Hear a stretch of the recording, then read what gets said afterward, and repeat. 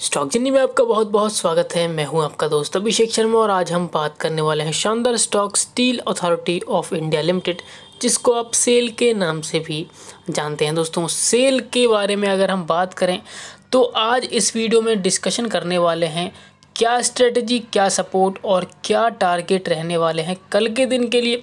यानी कि 9 दिसंबर के लिए। तो देखिए, अगर हम डिस्कशन करते हैं तो साफ़ तौर से देख सकते हैं, आज अच्छी खासी तेज़ी स्टॉक में यहाँ पर बनी हुई है।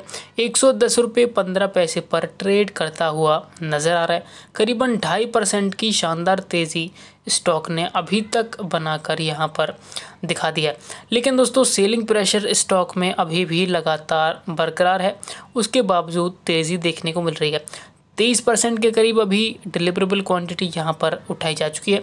तो अब डिस्कस करते हैं इसके चार्ट के बारे में। ये देखिए दोस्तों, आपके सामने 15 मिनट्स का हमने चार्ट लगाया हुआ है। सेल का कल देखें तो यहाँ पर कहीं क्लोजिंग स्टॉक की देखने को मिली, एक सौ आठ रुपये पचास पैसे पर।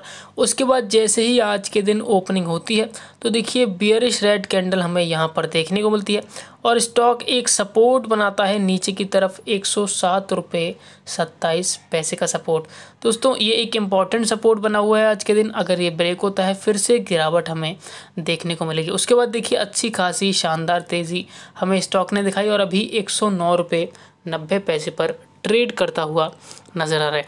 डेली चार्ट बेसिस पर अगर मैं बात करता हूँ दोस्तों देखिए, लगातार अच्छी खासी तेज़ी स्टॉक में अभी भी बरकरार है और हमारा जो नीचे का सपोर्ट है दोस्तों, वो अभी भी बना हुआ है। Ninety nine rupees forty six paise का सपोर्ट अभी तक ब्रेक होता हुआ यहाँ पर नहीं दिखाई दे रहा।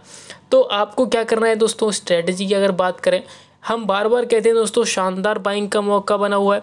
तो इस लेवल पर बिल्कुल आपको बाइंग करके चलनी चाहिए। अपने पोर्टफोलियो में होल्ड करके रखें, अगर पहले से ही दिक्कत स्टॉक शामिल है। और देखिए, सपोर्ट्स का खास तौर से ध्यान रखें तो अच्छा खासा टारगेट ये स्टॉक अचीव करके दिखा सकता है, एक सौ का टारगेट।